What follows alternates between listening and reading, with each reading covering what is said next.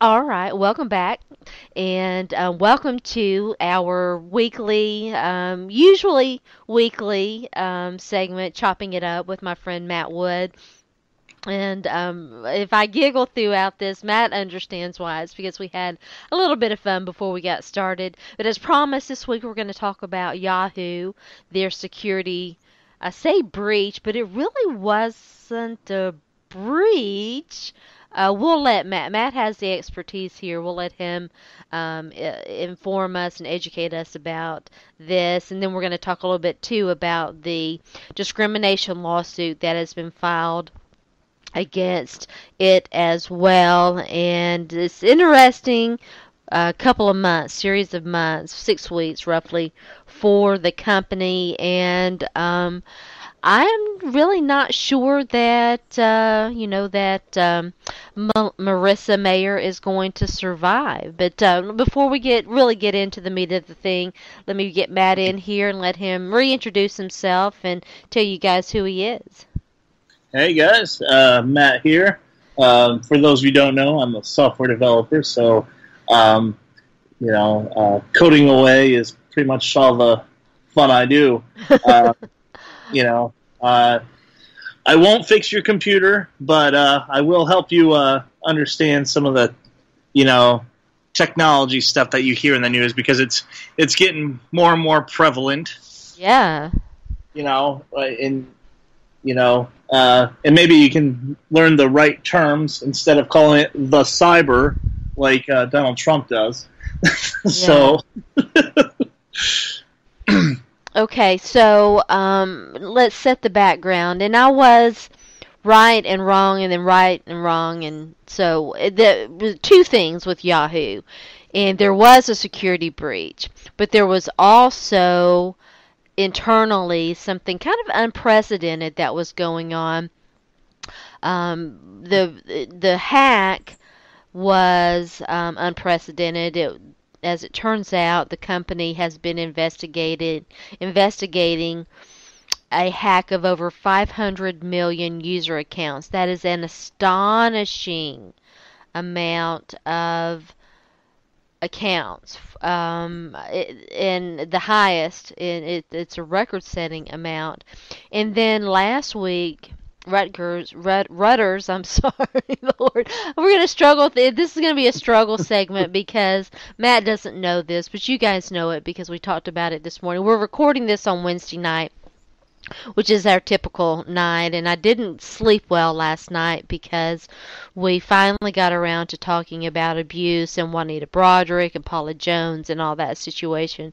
So I'm I'm exhausted. But so um, it was reported that in addition to that security breach, that hack, um, that Mayer had intentionally hid an initiative by the government from her own security team. She, they, yep. uh, Yahoo has been under fire for this hack and for some other uh, security breaches that it ha- has had. And I believe it was in 2014 they hired a new guy, a very well respected guy in um, the security industry and she hid she and her advisors hid this initiative this government instituted. It was instituted on behalf of the U.S. intelligence community, um, and it allowed them to scan the incoming emails of all of Yahoo users. And um, and if you're not troubled by that, you should be. So we'll let Matt come in here and explain all this for us and, and, and help us sort through this. Oh yeah. So you know, let's so the, there there's three things that are happening with Yahoo, and and we'll go, kind of go in order with with which in they broke in the cycle. First was the hack. Second was the government program, and then thirdly is the uh, alleged uh, sex discrimination lawsuit levied against Yahoo um, uh, from the men saying, "Hey, they got rid of all the men. Uh, now they're just hiring all the women." Mm-hmm. Um, so let's start first with the hack. So the hack was uh, 500 million accounts, and this was back in 2014, I believe. So, I mean, and th- and they didn't get it, and they didn't say it then. They didn't say, "Hey, change your Mhm. password." We think something may have been going on. No, you waited two years to tell people, "Oh, there was a hack." That I mean, and I don't know how many of you use Yahoo's uh, mail service. I've used it. Um, you can do a lot of stuff in there. Um, I mean, I mean, I guess they're all kind of becoming Gmail in a way Mhm. Mhm. you know, you have your mail, obviously. You have a calendar. Um, you have like a notepad type thing you can do. Mhm. Um, obviously, there's people who tie that email address to other accounts, um, whether it's social media or banking or whatever. I mean, so that's bad. And I mean, um, and let's be real. I mean, some a lot of people use they shouldn't, but they they use the same password for multiple places. Mhm. So if if if you know you get hacked, your email address and your password, and if they see like, oh hey, uh, you know you're already attached to these and use those uh, same passwords, I mean you you know someone's been leeching your data in a way for for two years possibly. Mhm. Um, yeah, very that's very bad. Like, um, why why they didn't let anybody know? I have no idea. I am, you know, it may be because they were trying to save face. Uh, Yahoo's been the, uh, you know, the bastard child now. I mean, they used to be the top of the game in the '90s. They were they were the Google. Yeah. You know, they were the number one search engine. They were the one. They were the uh, the hip company people wanted to work at and be associated with. I remember getting their magazine in the mail, and Cindy Margolis was on it every freaking three issues. Uh, and now it's like they it, it's it's the whole point of like, hey, we're at the top. Why do we need to innovate? Mhm. Um, and obviously, another company comes along, we can do it faster and better Mhm. yeah, whatever, try it. We're we're number one here, and obviously now they have that. So now Yahoo, the crapper, Uh-huh. and now you have this. Yeah, you're you're you're not going to go. They're they're probably not get any higher than they are. Plus, bits and pieces have been sold off anyway. Yeah, Uh, see, that's the thing. That's kind of part of this is that um, the core portion of Yahoo has been sold to Ver- Verizon. Um, well, it's in the process of being sold to to Verizon, and and the um, the investigation by um, the um, by uh, who's let's see here, Let me get this right. Um, uh, let's see here. Uh, la la la la la la la la la.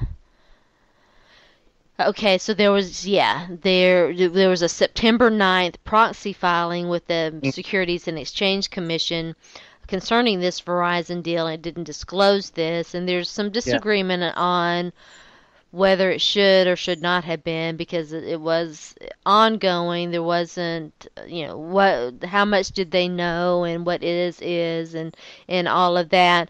But what and um but even beyond that what i think what is concerning for me and we'll be tweeting out links to to the articles that we're looking at and, and relying on. Yeah um, they hired a new chief information security officer in early 2014 and his name is alex stamos um, matt probably is familiar with him did i pronounce his name correctly Uh, it sounds right to me. I mean, it's it's spelled just like John Stamos, so I assume that it's um, pronounced that way. So, um, when the government approached Yahoo with this classified order to violate its users' privacy, if you want to know where I f- fall on, which side of the fence I fall on on on this deal, they Mm. didn't tell him, they didn't consult him, they didn't discuss with him, and I- eh, to me that's wrong. I, I I'm just gonna go ahead and say it.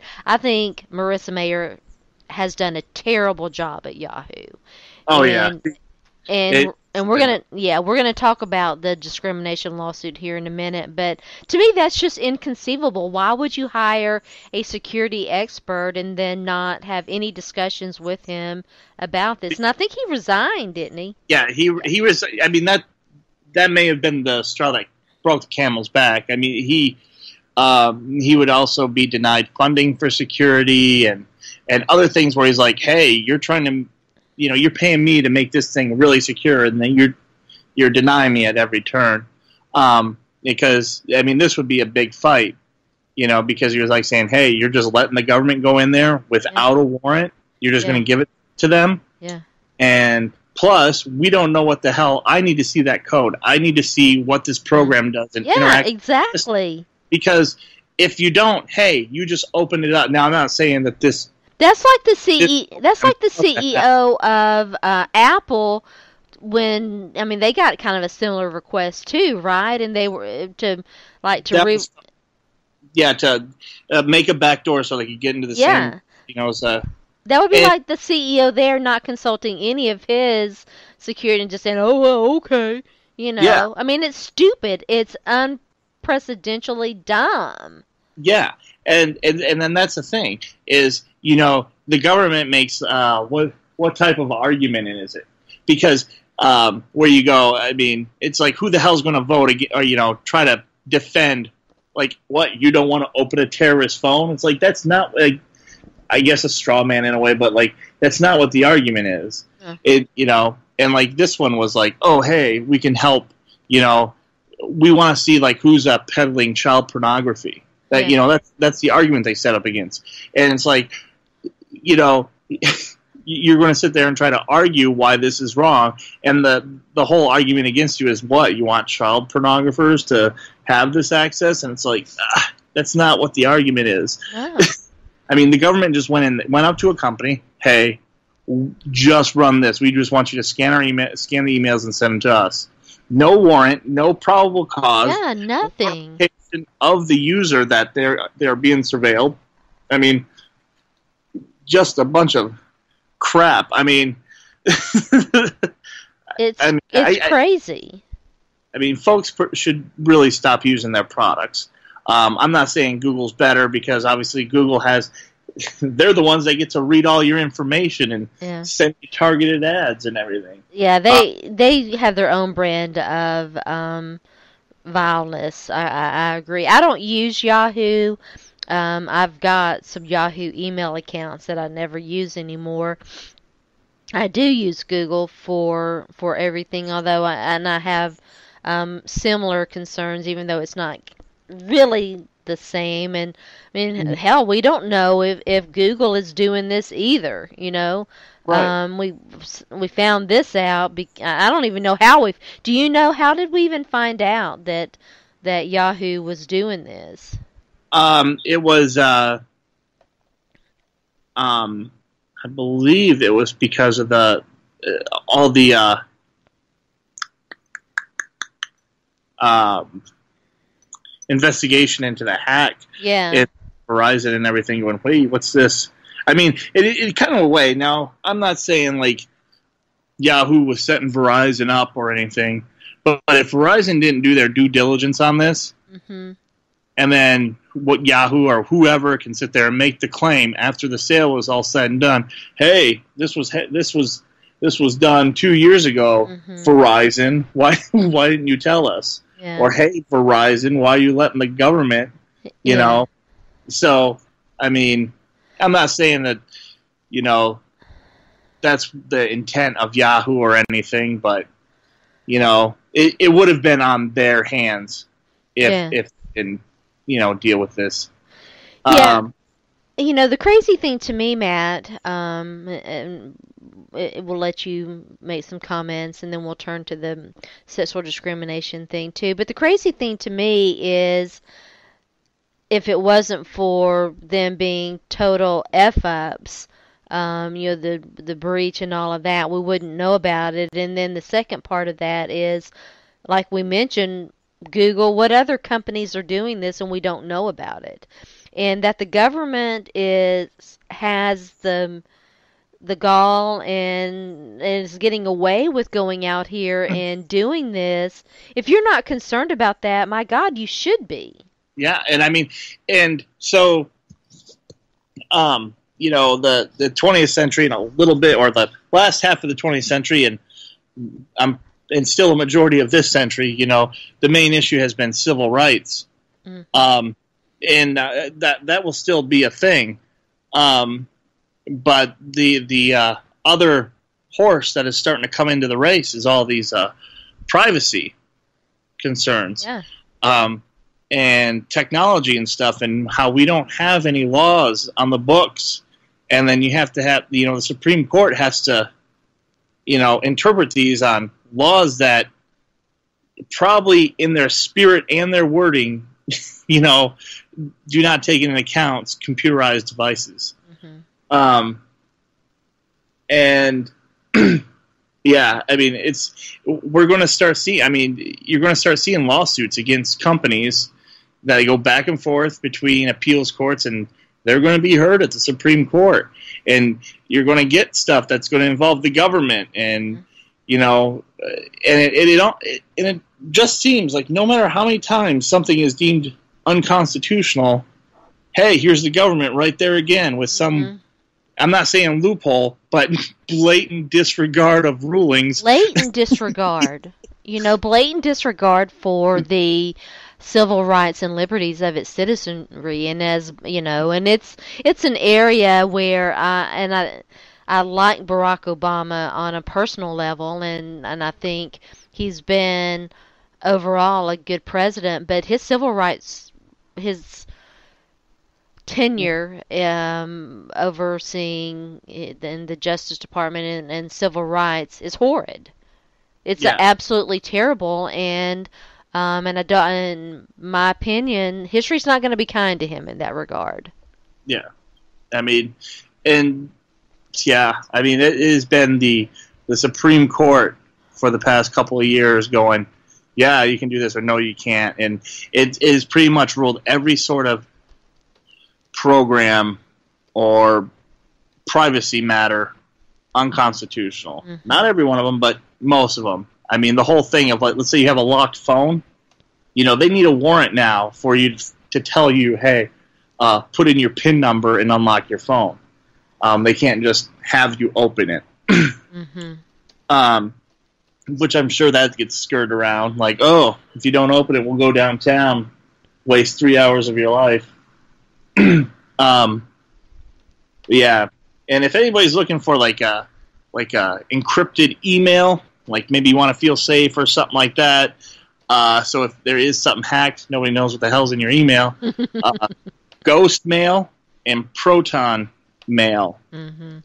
both are highly recommended. Um, remember, just because you use it doesn't mean that you don't you have nothing to hide. Yeah. you know. Um, yeah. yeah. I mean that all that comes with its own issues too. The real quick, let's get to this sexual discrimination uh, lawsuit, and I.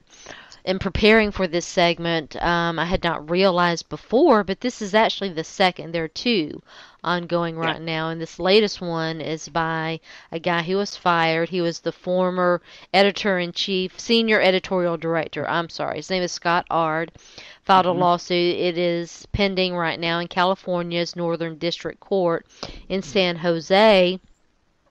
Um, and it alleges federal civil rights um, violations and violations of employment regulations. And um, in looking, you and I have been talking about this for a week or so. And in mm. my latest look at it, um, I was struck by how. Now, I, I have no doubt but that um, Yahoo, when Marissa Mayer took over, probably wasn't very uh, diverse in terms mm-hmm. of its, you know, um, the the diversity of its gender at um, a lot of.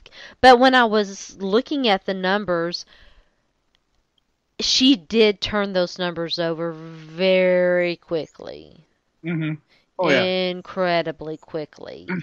and um, and I think you know I, I'm going to follow this very closely, but you know that does raise some questions for me. Oh yeah, and I'm and obviously you know, you know, innocent until proven. Yeah. Uh, you know, it, you know, it, it does look a little discriminatory. However, there are a couple of points. Um, so all these firings and stuff were under this new uh, performance review system. Now, uh, it is alleged um, in some other circles, not not uh, in any court filings, that Yahoo obviously was seeking finance was was in some dire straits. But obviously, if you sit there and lay, you know, four thousand people off or whatever at one time, obviously your stock price tumbles. Mm-hmm. So so you have these new performance reviews, and yeah, the, the, performance reviews. That's an interesting part of it too. And you uh, you uh, say like, oh hey, you adjust the standards. You don't meet the standard anymore, and you're out the door. Um, and that way you can you can hide layoffs without you know calling them layoffs. Mm-hmm. Mm-hmm. Um, now, obviously, there's uh, you know that's that's alleged. That's not actually in any suits, um, and um, there's also you know the whole the whole the whole like as a developer, you know, like the the field is predominantly white dude. Yeah. um, it, well, and that demographic is changing because you know all those you know white dudes, you know they they mm-hmm. can you know they're retiring, and there are issues of ageism in mm-hmm. Silicon Valley, um, or like these tech hotspots. Not so much everywhere. Um, you know, like if you're past 40, you're considered retired. You're not useful anymore, which is absurd. But so all these dudes, you know, they're they've been in these positions 20 or 30 years. Some new blood in. Mm-hmm. so it just so happens that they're men, and it may just be circumstantial that they're men. Mm-hmm. And yes, you know, they're being replaced by women or people of color or anything like that. So it may seem that way. So it, it, it, may actually just, you know, it may be still discrimination, but age discrimination, and it just happens that they used to know, have a they used to have a term for it, um, uh, discriminatory. Uh, oh, I'll have to look it up, and uh, I won't waste your time while I'm looking it up. But there there's a legal term for that. It, it's almost like uh, prima facie negligence, and, and that is kind of discriminatory on its face, but there's a legal term for it, and I can't.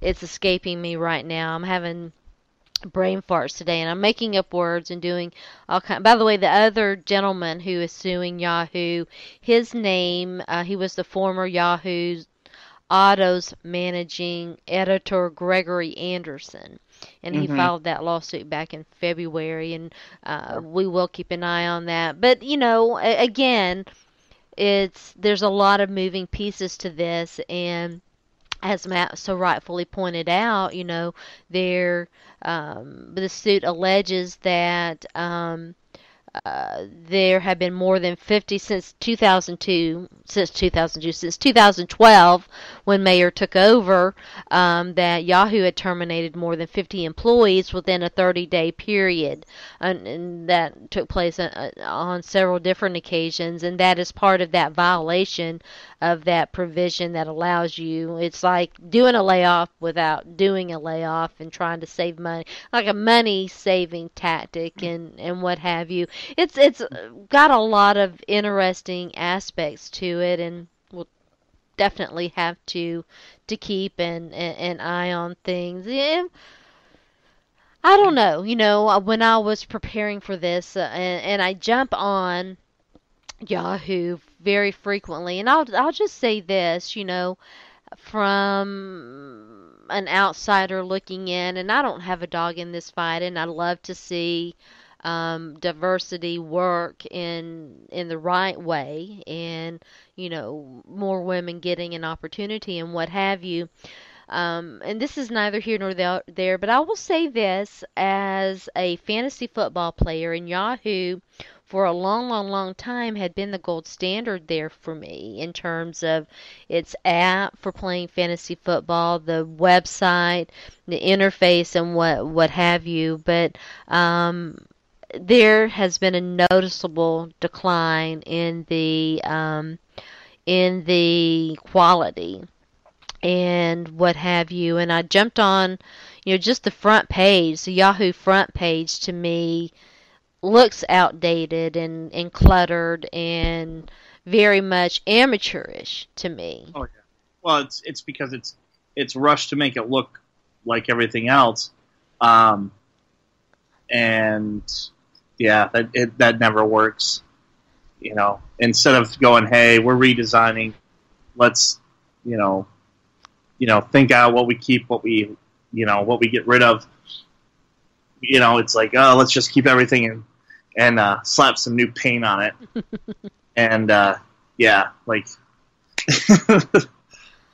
I mean Google. I mean look at Google. It's it's minimalist. You know, very minimalist. Very. I don't like busy websites, vi- busy web interfaces anyway. And Yahoo is the definition of busy. You look at it, and it's just unsightly and ugly. Yeah. Yeah, it's it's horrible you know and and uh, i don't have i don't have an axe to grind i'm just saying as a consumer um, it is literally the last website i would go to get anything yeah you know and i honestly i only go there for for fantasy football stuff. That's the only reason why i ever go to yahoo is for fantasy football. And um, you know yeah i used to visit there um, but google has replaced that and has become kind of that, you know, mm-hmm. that standard. And and it's because you can just do a search and get what you want and not have to have that or that eye you know that um, eyesore kind of um, you know makes your eyes want to bleed just looking at all the stuff there. Mm-hmm. So, yeah. It's very, crap. Yeah, very very interesting stuff, Matt. It's always a pleasure. We um, we managed to to really you know kind of cover that pretty thoroughly in in 30 minutes. We'll have to come up with something else to talk about next week. Um, I'm so I'm almost getting. Uh, we're going to continue to talk about politics. It's it's important. Um, the there was a hashtag today that I'll probably end up discussing on Friday. Um, basically, repeal the nineteenth. Do it. I knew you were going to say it. yeah, I mean because you know women are going to make sure Trump doesn't get elected, so let's repeal the nineteenth. Those evil, oh. awful Jezebel women. well, let's not forget. Like two days ago, too, he said, "Hey, the the uh, the others are going to steal this election from you, uh, kind of nodding towards uh, uh, the African American and Latino communities. Yeah. it's, it's I, I've not I have it's we, it is crazy. I mean we're it's mm-hmm. just crazy. Matt, tell everybody out there where they can find you. Uh, you can find me at Twitter at Woodstock. That's W zero zero D S T O K. We'll find something interesting to talk about next week. Matt, have a great evening. Thanks. You too. All right. Good night. Good night.